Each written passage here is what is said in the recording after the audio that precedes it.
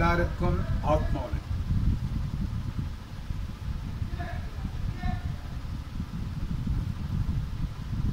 இந்த பயிற்சிகள் பற்றின எல்லா ரகசியங்களுமே நான் வந்து பழைய வீடியோவில் எல்லாமே சொல்லிட்டேன். எப்படி பண்ணும் எப்படி செய்யணும் எல்லாமே சொல்லிட்டேன். ஒருவேளை உங்களுக்கு அது புரியலைன்னா உங்கள் பக்கத்தில் யாராவது குருமார்கள் இருப்பாங்க. வேதாத்திரி மகரிஷி கிளாஸ் இருக்கும். இல்லைன்னா வேறு ஏதாவது சம்மந்தமான கிளாஸ் எடுக்கிறவங்க யாராவது இருப்பாங்க. அங்கே போயிட்டு நீங்கள் இந்த பயிற்சிகளை வந்து கற்றுக்கலாம் உங்கள் பக்கத்தில் யார் இருக்காங்களோ அங்கே போனீங்கன்னா இந்த பயிற்சிகள் பற்றி சொல்லிக் கொடுப்பாங்க. கற்றுக்கலாம் நான் வந்து புரிகிற மாதிரி தான் எல்லா விஷயமும் சொல்கிறேன் குண்டலி பயிற்சிக்கு ரொம்ப முக்கியமான விஷயம் வந்து மலத்வாரம் அதாவது ஆசனவாய் இதுதான் சொல்லியிருக்கேன். குண்டலி பயிற்சிக்கு ரொம்ப முக்கியமான விஷயம் தான் மலத்துவாரம் இல்லைன்னா வாங்கி. அதை வந்து நீங்கள் நல்ல இயக்க தெரிஞ்சாதான் அந்த ஆற்றலை பற்றி உங்களால் புரிஞ்சிக்க முடியும் உணர முடியும். இப்போ இந்த மூச்சு இழுக்கும் போதும் விடும் போதும் அதை எப்படி இயக்கணும் அப்படின்றது தான் பயிற்சி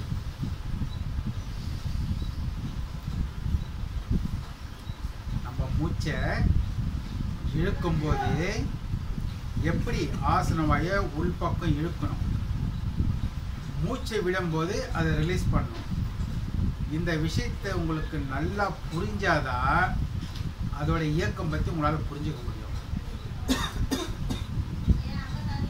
உங்களுக்கு உடம்புல எனர்ஜி வேணும்னா மூச்சை உள்ளே இழுத்து இந்த உடம்புல எனர்ஜி வேணும்னா மூச்சை உள்ளே இழுத்து அஞ்சு தடவை ஆசனம் இது அஸ்வினி முத்ரா பண்ணணும்.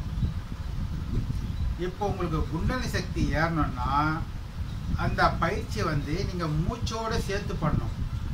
அப்பதான் வந்து குண்டலி சக்தி ஏறும். குண்டலி சக்தி ஏறணும்னா மூச்சோடு சேர்த்து பண்ணணும். ஏற்கனவே பழைய வீடியோலாம் நான் சொல்லியிருக்கேன்.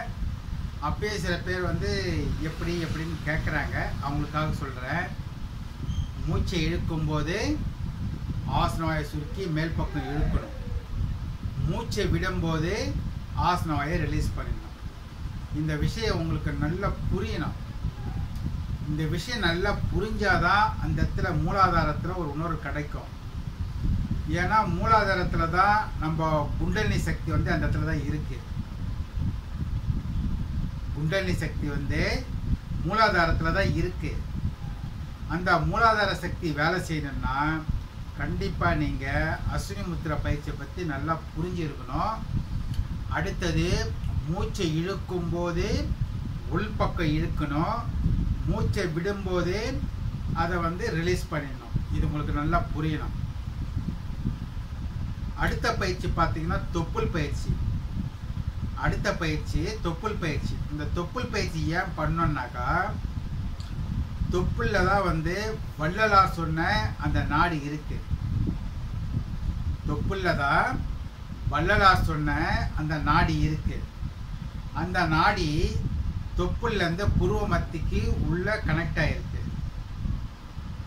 தொப்புளில் இருக்க அந்த நாடி புருவ மத்தியில் கனெக்ட் ஆயிருக்கு. அப்போது இந்த பயிற்சி எப்படி பண்ணோம்? அப்படின்னு பார்த்தீங்கன்னா இதுவும் நீங்கள் மூச்சை இழுக்கும்போது அதாவது மூக்கு வழியாக மூச்சை இழுக்கிறீங்க பொதுவாக சாதாரண பயிற்சியில் வந்து மூச்சை உள்ளே இழுத்தா தொப்புள் வெளியே வரணும்.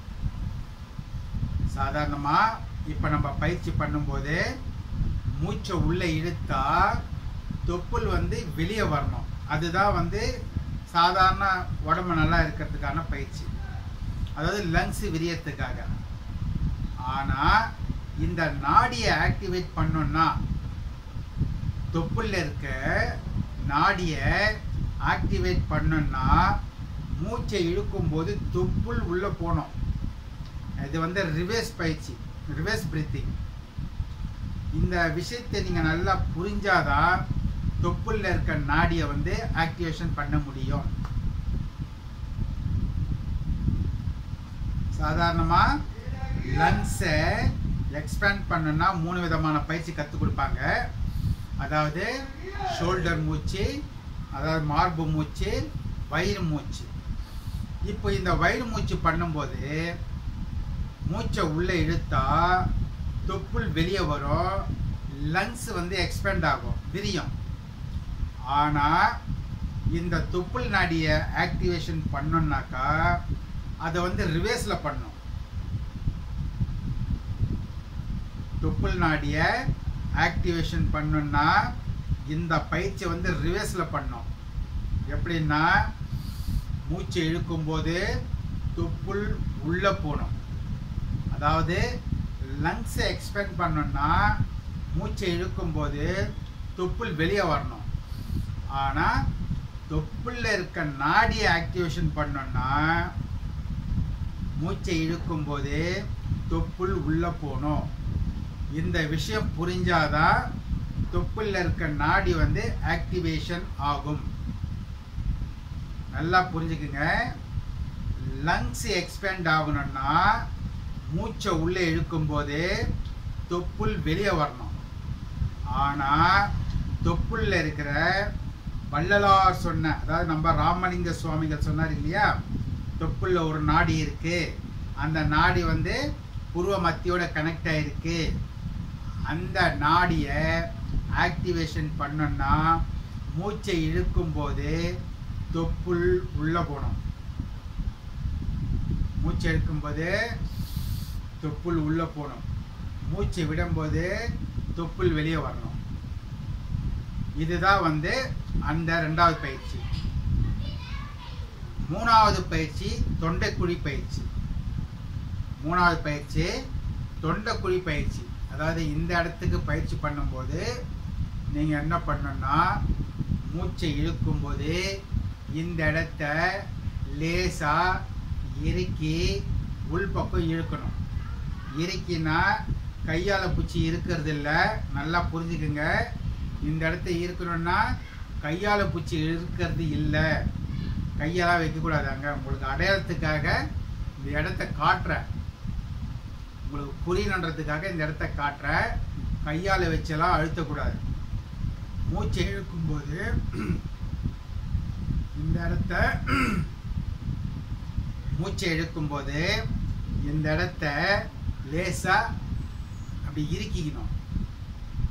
உள்பக்கம் இந்த இடத்த மூச்சு உள்ளே இழுக்கும்போது இந்த இடத்த லேசாக அப்படி இறுக்கி நீங்கள் வந்து காற்றை உள்ளே இழுக்கணும். அந்த சீக்ரெட் உங்களுக்கு புரியணும். இது வந்து பழக்கத்தில் தான் உங்களால் புரிஞ்சுக்க முடியும்.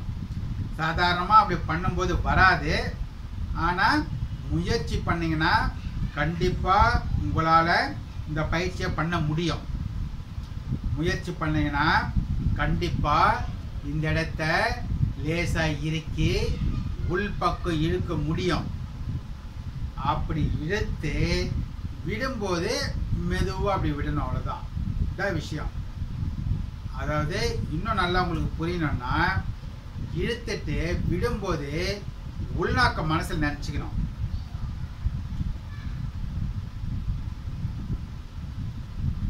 புரிஞ்சிருக்கும்னு நினைக்கிறேன். மூச்சை இழுக்கிறீங்க. இந்த இடத்துல லேசாக இருக்கு இழுத்துட்டு விடும்போது உள்நாக்க மனசில் நிறுத்திக்கணும். அப்படி. இதுதான் அந்த ரகசியம் அந்த சீக்கிரம் இந்த விஷயம் உங்களுக்கு நல்லா புரிஞ்சாதான் இதிலெல்லாம் வந்து இந்த பயிற்சியில் ஜெயிக்க முடியும். அடுத்த பயிற்சி உள்நாக்குக்கு பின்னாடி. அடுத்த பயிற்சியும் உள்நாக்குக்கு பின்னாடி தான் இந்த பயிற்சியை பண்ணோம்.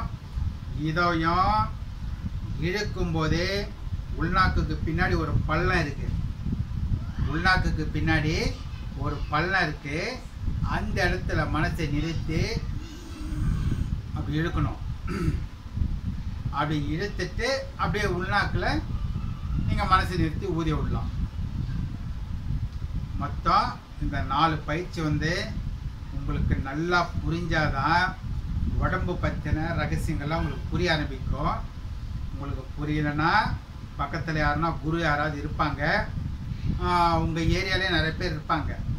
அந்த குருமார்கள்ட்ட போயிட்டு நீங்கள் கற்றுக்கலாம் ரொம்ப ஈஸியான விஷயம் வந்து நம்ம வேதாத்திரி மகரிஷி ஐயாவோட கிளாஸ் வந்து எல்லா ஏரியாலையும் வச்சுருக்காங்க.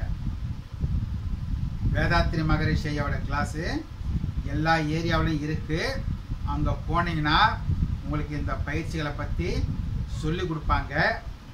உங்களுக்கு புரியலன்னா நான் சொல்கிறது உங்களுக்கு புரியலன்னா அந்த வேதாத்திரி மகரிஷி கிளாஸுக்கு போனீங்கன்னா அவங்க இந்த பயிற்சியை கற்றுக் கொடுப்பாங்க. அங்கே போயிட்டு நீங்கள் இந்த பயிற்சிகளை கற்றுக்கலாம் இந்த நாலு பயிற்சிகள் தான் நம்மளுக்கு ரொம்ப ரொம்ப முக்கியமான பயிற்சிகள். அஸ்வினி முத்ரா பயிற்சி ஒன்று அதாவது ஆசனவாயை சுருக்கி விடுறது அடுத்தது தொப்புள் பயிற்சி அதாவது ரிவர்ஸ் பிரீத்திங் மூணாவது பயிற்சி தொண்டைக்குழி பயிற்சி நாலாவது பயிற்சி உள்நாக்குக்கு பின்னாடி இருக்க பயிற்சி. இந்த பயிற்சிகள்லாம் பண்ணாதான் நம்மளுக்கு உள்ளே இருக்க அந்த வாசல்கள்லாம் திறக்கும். நம்ம உடம்புக்குள்ளே இருக்கிற அந்த வாசல்கள் திறந்தாதான் நம்ம ஆன்மாவை பற்றி நம்மளால் உணர முடியும். இந்த வாசல்கள்லாம் திறந்தாதான் நம்ம ஆன்மாவை பற்றி உணர முடியும். அதுக்கப்புறம் தான் உச்சி வாசல் உங்களுக்கு திறக்கும். அதுக்கப்புறம் தான் உச்சி வாசல் திறக்கும். உச்சி வாசல்னால் என்னன்னு சொல்லியிருக்கேன். பிறந்த குழந்தைக்கு பார்த்தீங்கன்னா அந்த இடம் மெத்து மெத்துன்னு இருக்கும். அதுதான் வந்து உச்சி வாசல். அது ஒரு ஏழு எட்டு மாதம் ஆனவுடனே எலும்புகள் கூடி அந்த வாசல் மூடிடும். இப்போ நம்மளுக்கு அந்த வாசல் மூடி இருக்குது தொடர்ந்து பயிற்சி பண்ணிக்கிட்டே இருந்தோம்னா பிறந்த குழந்தைக்கு இருக்கிற மாதிரி நமக்கும் அந்த உச்சி வாசல் திறக்கும். அந்த உச்சி வாசல் திறந்தாதான் பல விஷயங்களை நம்மளால் புரிஞ்சிக்கவே முடியும். அதனால் ஒவ்வொரு பயிற்சியாக பண்ணுங்க. இதை யாரெல்லாம் புரிஞ்சுக்கிறாங்களோ அவங்க தான் இதை ஜெயிக்க முடியும். புரிஞ்சிக்க முடியாதவங்களுக்கு இதை வந்து ஜெயிக்கிறது கஷ்டம். அதனால் உங்கள் பக்கத்தில் யாருன்னா நல்ல ஒரு குருமார்கள் இருந்தாங்கன்னா அங்கே போய் கற்றுக்குங்க இந்த பயிற்சிகளை பண்ணுங்க. இதில் கிடைக்கிற ஆனந்தத்தெல்லாம் அனுபவிங்க. எல்லாருக்கும் ஆத்ம வணக்கம்.